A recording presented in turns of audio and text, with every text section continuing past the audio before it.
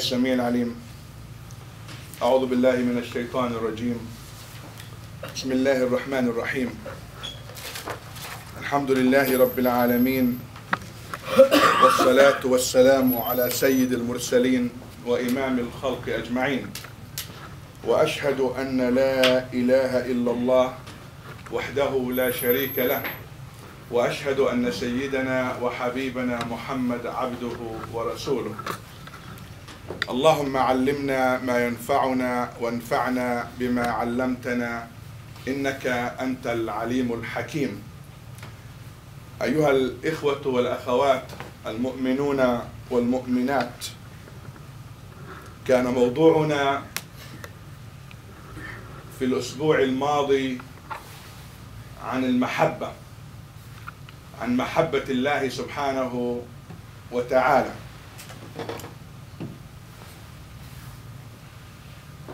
كان موضوعا أثر بي شخصيا. لما عدت إلى بيتي وبدأت أكتب الخواطر فيما قلته أو قرأته في موضوع المحبة. وأقول أيها الإخوة والأخوات أن المسلمين وللأسف الشديد خسروا. كثيرا في عدم فهم الإسلام وعدم الغوص في معانيه والتدبر في دروسه وعبره الكثيرة. حتى أصبحت عبادتنا خالية من روحها وأصبح كثير من أعمالنا أعمال تفعل لأنها يجب أن تفعل لا لأنها متأثرة بالقلب أو بالروح أو بالمحبة أو بالطاعة أو لفهم صحيح لله سبحانه وتعالى. أتذكر أو تذكرت والدي رحمه الله لما كان يقول بالفلسطيني الفلاحي ها خلينا نغزها ونخلص منها.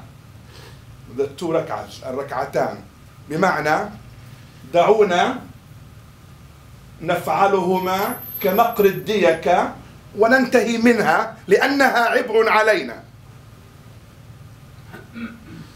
ما كنت أفهم الذي قاله كما فهمته في هذا الأسبوع الماضي أنه لو فهم والدي رحمه الله أن العبادة حلاوتها أن تنتج عن حب لمن تعبد وعن حب لمن تسجد له وعن فهم لحقيقة من تعبد. لما قلت ما قلت. لما قلت ما قلت. فأحببت أن أركز خطبتي هذه وممكن خطبة أخرى في هذا الموضوع موضوع حب الله. ووجدت فيه كتابات كثيرة في كتبنا القديمة والحديثة. لعلكم أن تقرؤوها أيها الإخوة والأخوات. يقول الحسن البصري معلقا أو مفسرا على الآية الواردة في سورة المائدة يحبهم ويحبونه. يقول من عرف ربه أحبه. ويقول يحيى ابن معاذ عفوه ربي يستغرق الذنوب. فكيف رضوانه؟ ورضوانه يستغرق الآمال فكيف حبه؟ وحبه يستغرق العقول. فكيف وده؟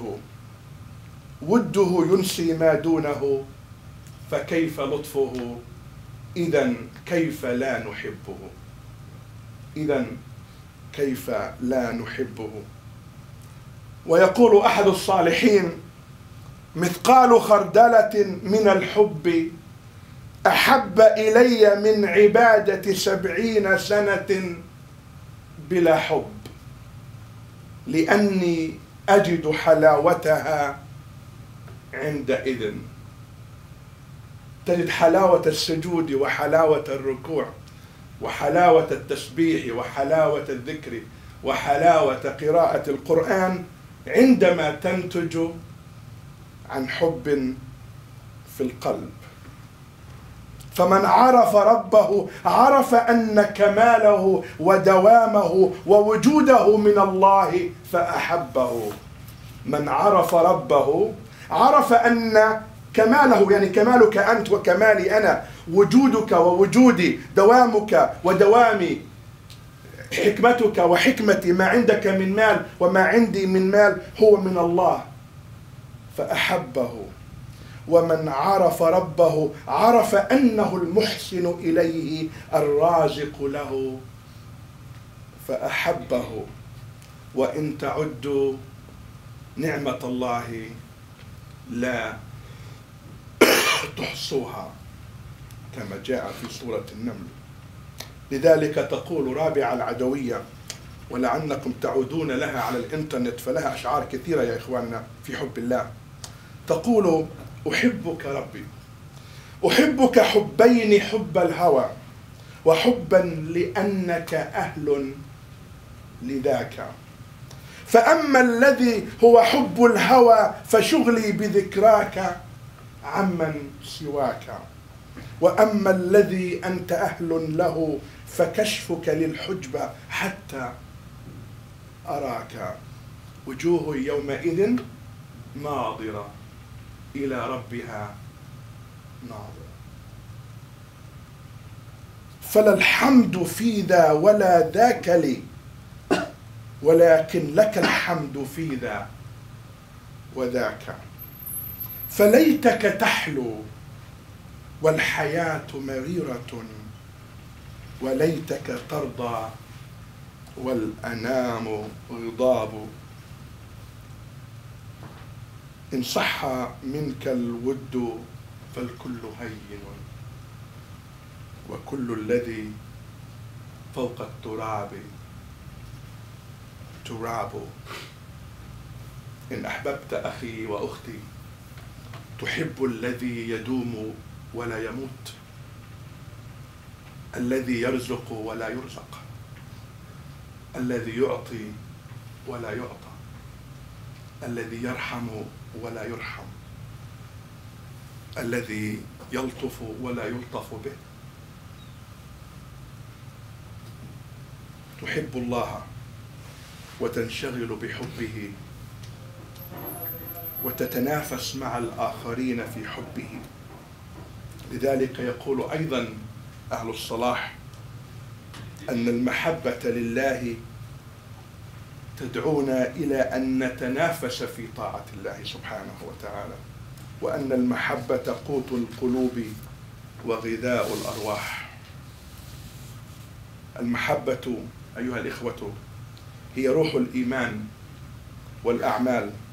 فإن خلت الأعمال من محبة الله كانت كالجسد بلا روح وكالشجرة خاوية بلا ثمار. إذا غرست المحبة في الإنسان كانت كالشجرة أينعت وارتاح لها الناس قلوبهم وعقولهم وعيونهم. قيل المحبة الميل الدائم بالقلب الهائم. فهل مال قلبك لحب الله؟ وهل هام قلبك في حبه؟ قيل المحبة إيثار المحبوب على جميع المصحوب. فهل آثرت الله على نزواتك وشهواتك؟ وما عندك من مطالب؟ أم كنت أنت الأول وأنت الآخر وأنت المنتصف؟ قيل المحبة موافقة الحبيب في المشهد والمغيب. فهل وافقت إرادة الله سبحانه وتعالى في السر وفي العلن في الليل وفي النهار ففعلت وعملت ما أراده؟ قيل المحبة استكثار القليل في جنبات من يحبك من تحبه. قيل معانقة الطاعة ومباينة المخالفة. إنك إن أحببت عبدا عانقته وأطعته وفعلت ما يريد فإن ادعيت حب الله أفعلت ما يريد. أعانقته معانقة الحبيب وفعلت ما يريد وابتعدت عما لا يريد. قيل المحبة أن تهب كلك لمن أحببت فلا يبقى لك منك شيء. تصديقا لقوله تعالى قل إن صلاتي ونسكي ومحياي ومماتي لله رب العالمين. لله رب العالمين.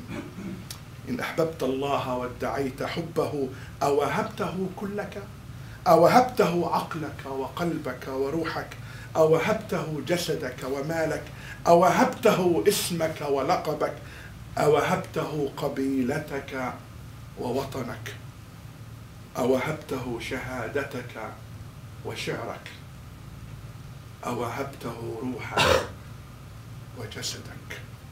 قل إن صلاتي ونسكي ومحياي ومماتي لله رب العالمين. أحببت الله من قلبي أحببت الله من روحي أحببت الله من عقلي. لما عرفته وعرفت أنه أهل للجمال وأهل للكمال فوهبته كل ما عندي فأصبحت مسلما بالحب لأني أحببت أهل الكمال وأهل الجمال. يقول أبو بكر الثاني عن الجنيد في المحبة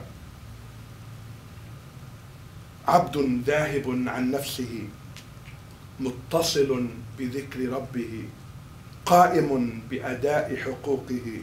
ناظر إليه بقلبه فإن تكلم فبالله وإن نطق فعن الله وإن تحرك فبأمر الله وإن سكن فمع الله فهو بالله ولله ومع الله لأنه أحب الله. ورأى حياته لا تصلح إلا أن تكون مع الله.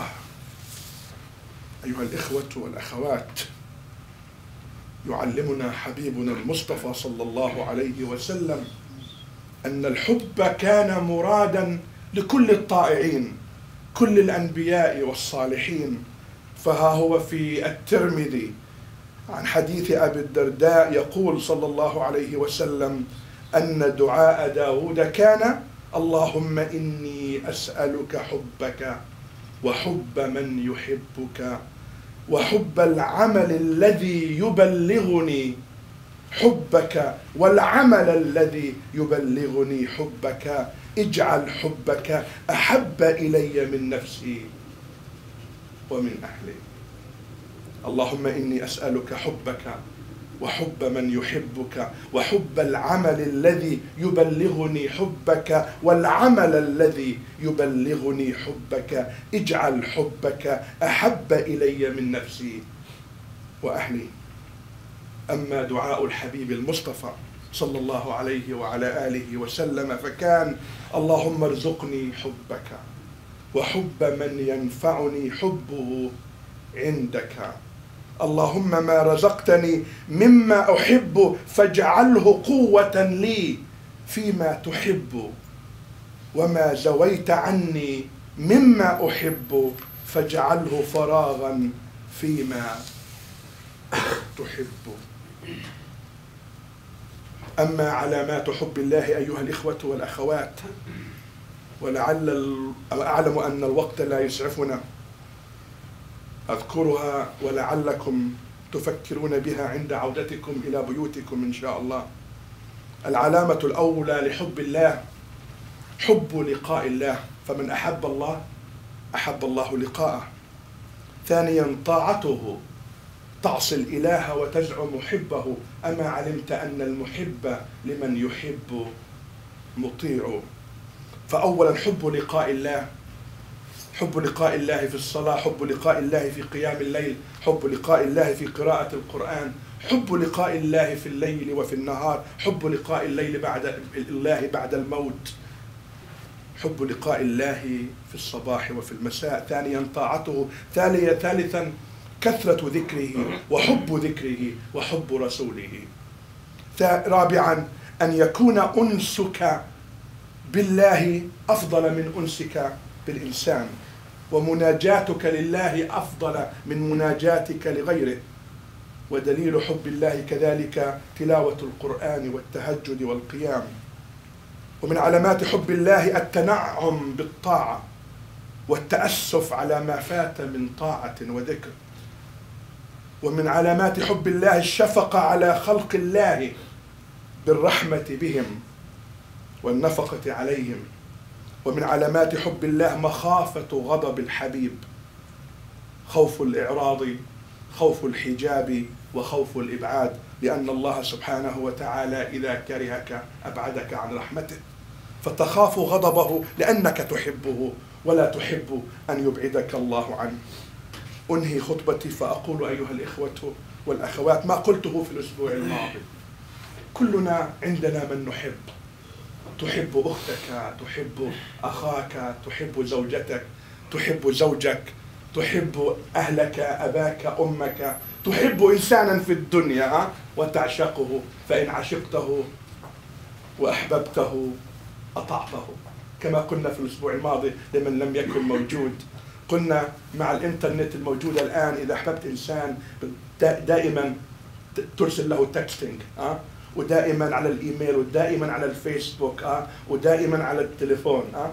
والله رايت إنسان قبل أيام جاري الساعة الثانية والنصف في الليل على التليفون بخارج البيت والدنيا تثلج فقال هو يتكلم مع خطيبته هي في بلد أخرى قل سبحان الله ذهب بك الولع والحب أه؟ أن تثلج أن تقف في الثلج من أجل حبيبك تكلمه فأين حبنا لله؟ حب إبراهيم عليه السلام حب يونس حب محمد صلى الله عليه وسلم حب موسى حب عيسى حب الصالحين. أن نطيعه فعلا؟ أن نحبه فعلا؟ أن نكلمه فعلا؟ أن نرتاح لذكره فعلا؟ أم أن الحبيب الله الذي نزعم حبه نتذكره لدقائق معدودة ثم ننساه في دقائق أخرى. اللهم ارزقنا حبك وحب من يحبك وحب طاعتك. أقول قولي هذا وأستغفر الله لي ولكم فاستغفروه.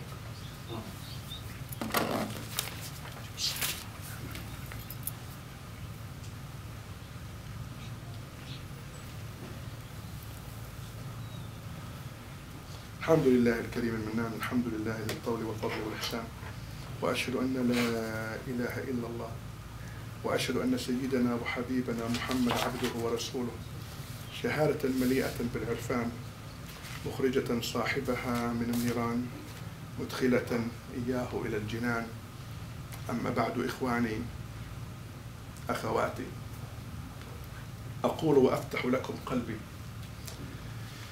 عمري 46 سنة. أول كتاب قرأته عن الإسلام ككتاب كامل كان عمري تسعة سنوات.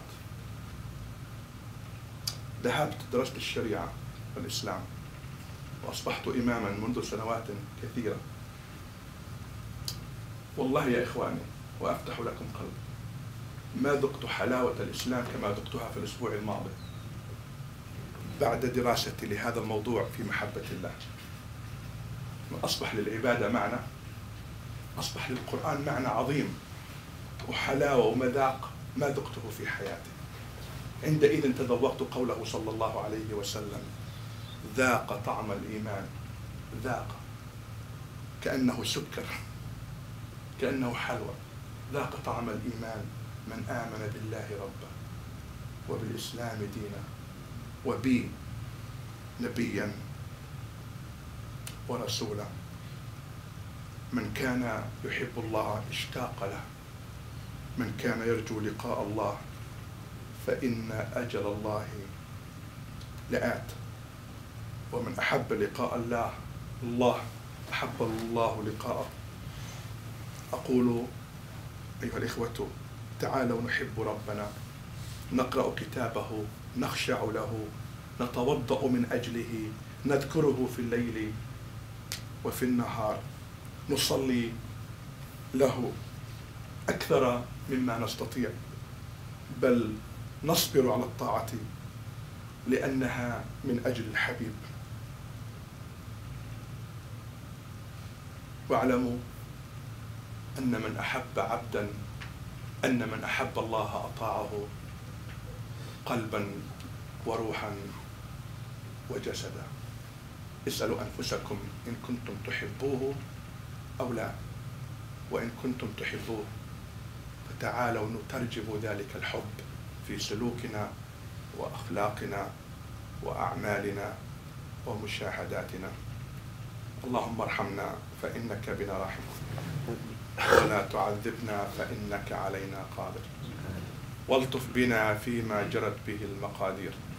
اللهم اغفر لنا ذنوبنا وكفر عنا سيئاتنا وارحم ضعفنا وأحسن خلاصنا وتول بالباقيات الصالحات أعمالنا. اللهم اجعل في قلوبنا نورا. اللهم اجعل في أسماعنا نورا. اللهم اجعل في أبصارنا نورا.